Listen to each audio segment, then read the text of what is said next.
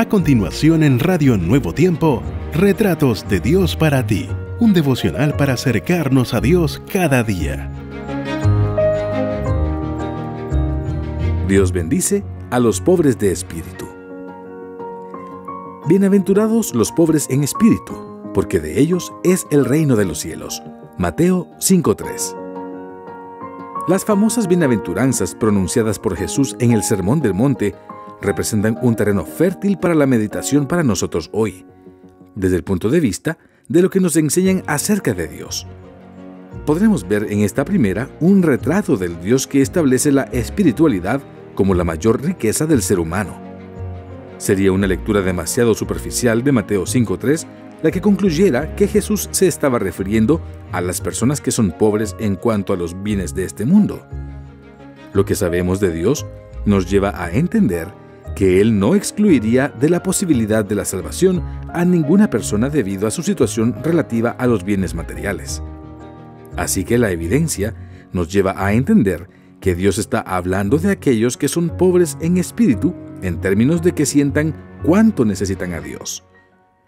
Los pobres en espíritu son aquellos que se miran a sí mismos y reconocen que comparados con Cristo están lejos del ideal y necesitan urgentemente que la gracia y la misericordia divinas haga por ellos lo que no pueden hacer por sí mismos. Esto contrasta frontalmente con quienes no sienten su necesidad espiritual, con esos practicantes de alguna religión que piensan, yo soy rico, me he enriquecido y de nada tengo necesidad. A esos Jesús les dice, no sabes que eres desventurado, miserable, pobre, ciego y estás desnudo. Apocalipsis 3:17. Los que han entendido que la verdadera grandeza es sentirse pequeños delante de Dios y mantenerse sumisos a Él, tienen la actitud de quienes formarán parte del reino de Dios.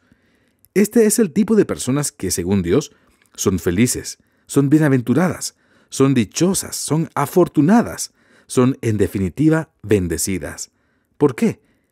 Porque el reconocimiento de esa necesidad los ayudará primero a refugiarse en Dios, como su única posibilidad de salvación. Segundo, a entender que el orden correcto de las cosas es buscar primero lo espiritual y luego todo lo demás bajo la dirección de Dios. Y tercero, tendrán mayor capacidad para entender el propósito de su existencia. Para Dios, los pobres en espíritu no son tontos, ni apocados, ni acomplejados, ni mucho menos depresivos. Los pobres en espíritu son las personas más sabias, porque han entendido el verdadero significado de la vida. Son felices porque en Dios tienen la esperanza segura del reino de los cielos. ¿Escuchaste? Retratos de Dios para ti, un devocional diario que nos une al Creador. Sigue en la sintonía de Radio Nuevo Tiempo, la voz de la esperanza.